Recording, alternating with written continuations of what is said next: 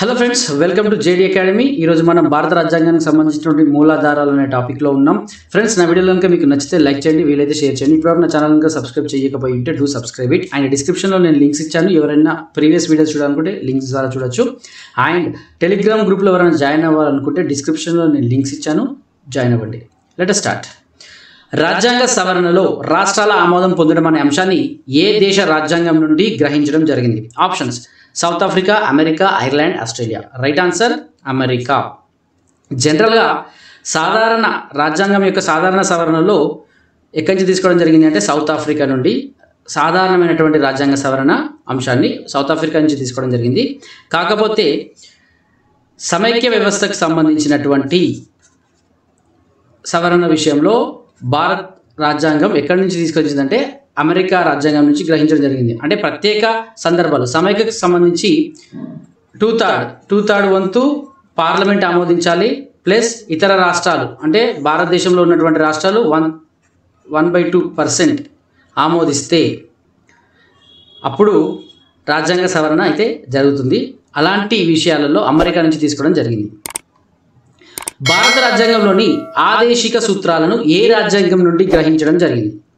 భారత రాజ్యాంగంలోని ఆదేశిక సూత్రాలను ఏ రాజ్యాంగం నుండి గ్రహించడం జరిగింది? Options Ireland. ఐర్లాండ్ ఇంకా వీటిని ఐర్లాండ్ నుంచి ఇంకా గ్రహించామంటే మనం రాష్ట్రపతి ఎన్నిక. రాష్ట్రపతి ఎన్నికకు సంబంధించినటువంటి ఓటు బదిలీ పద్ధతి. దాన్ని కూడా మనం ఐర్లాండ్ నుంచి గ్రహించాం. అండ్ రాష్ట్రపతి రాజ్యసభకు పన్నెండు మందిని నియమిస్తారు. ఆ ఆ విషయం కూడా మనం ఐర్లాండ్ నుంచి తీసుకోవడం జరిగింది. ప్రాథమిక విధులను ఏ రాజ్యాంగం నుండి గ్రహించడం జరిగింది? ప్రాథమిక విధులను ఏ రాజ్యాంగం నుండి గ్రహించడం జరిగింది? ఆప్షన్స్. ఫ్రాన్స్ యుఎస్ఎస్ఆర్ భారత ప్రభుత్వ చట్టం nineteen thirty five and Britain. Right answer USSR.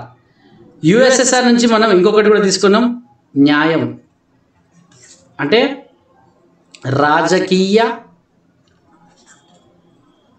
సామాజిక ఆర్థిక న్యాయం అనే టాపిక్ని కూడా మనం యుఎస్ఎస్ఆర్ నుండి తీసుకోవడం జరిగింది. అత్యవసర పరిస్థితుల కాలంలో జీవించే హక్కును అత్యవసర పరిస్థితుల కాలంలో జీవించే హక్కును రద్దు చేయకుండుట అనే అంశాన్ని ఏ రాజ్యాంగం నుంచి గ్రహించడం జరిగింది? Options. Germany Japan South Africa Britain. So right answer Japan. So అత్యవసర పరిస్థితుల్లో జీవించే హక్కును రద్దు చేయకుండా అనే అంశాన్ని ఎక్కడి నుంచి తీసుకోవడం అంటే జపాన్ నుంచి గ్రహించడం జరిగింది.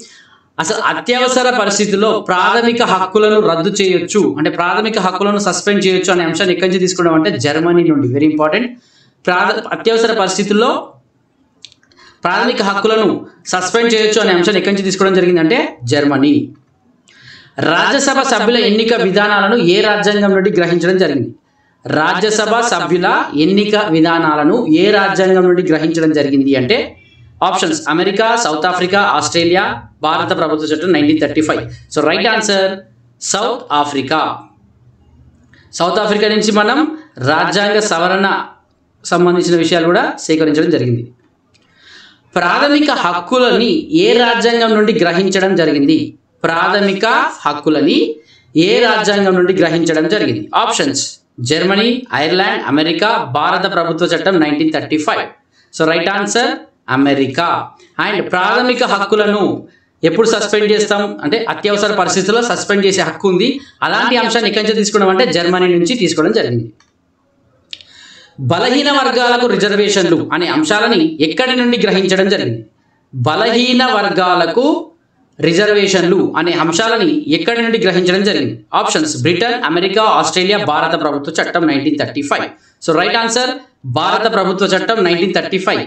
భారత ప్రభుత్వ చట్టం నైన్టీన్ థర్టీ ఫైవ్లో సంబంధించినటువంటి ఇంకేం అంశాలు తీసుకున్నామంటే ముఖ్యంగా అత్యవసర పరిస్థితులు అత్యవసర పరిస్థితులు and public service commission public service commission and సమైక్య వ్యవస్థ సమైక్య వ్యవస్థ అత్యవసర పరిస్థితులు కేంద్ర రాష్ట్ర సంబంధాలు. కేంద్ర రాష్ట్ర సంబంధాలు అన్నింటినీ కూడా మనం భారత ప్రభుత్వ చట్టం నైన్టీన్ థర్టీ ఫైవ్ నుంచి స్వీకరించడం జరిగింది. ఉభయ సభల సంయుక్త సమావేశం అనే అంశాన్ని ఏ రాజ్యాంగం నుండి గ్రహించడం జరిగింది? ఉభయ సభల సంయుక్త సమావేశం అనే అంశాన్ని ఏ రాజ్యాంగం నుండి గ్రహించడం జరిగింది? ఆప్షన్స్ బ్రిటన్ అమెరికా ఆస్ట్రేలియా భారత ప్రభుత్వ చట్టం nineteen thirty five.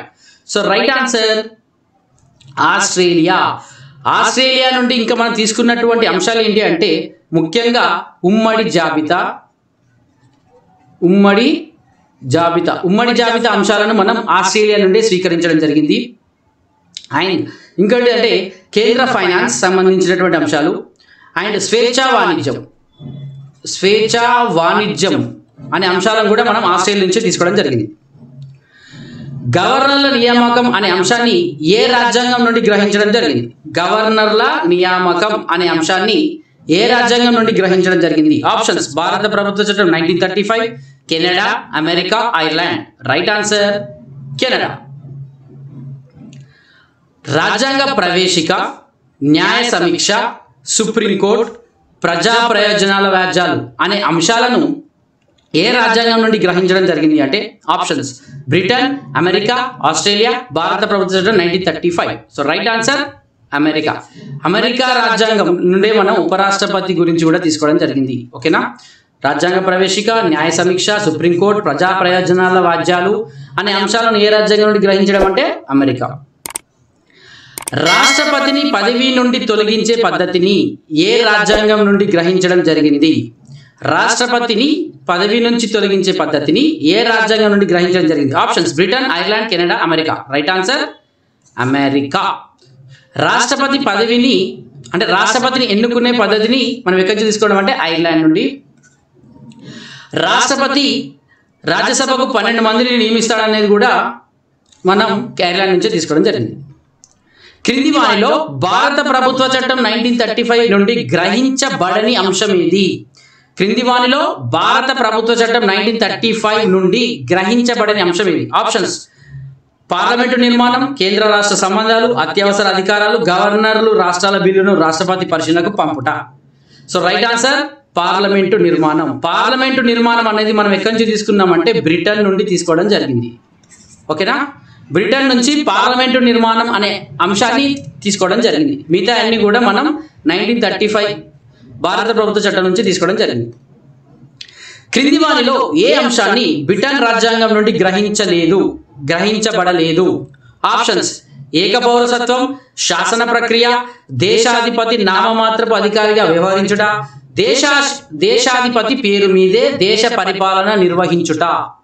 క్రింది వానిలో ఏ అంశాన్ని బ్రిటన్ రాజ్యాంగం నుండి స్వీకరించలేదు? అంటే రైట్ ఆన్సర్ దేశప దేశాధిపతి పేరు మీద దేశ పరిపాలన నిర్వహించుట అనే అంశాన్ని మనం ఎక్కడి నుంచి గ్రహించడం అంటే అమెరికా నుండి గ్రహించడం జరిగింది.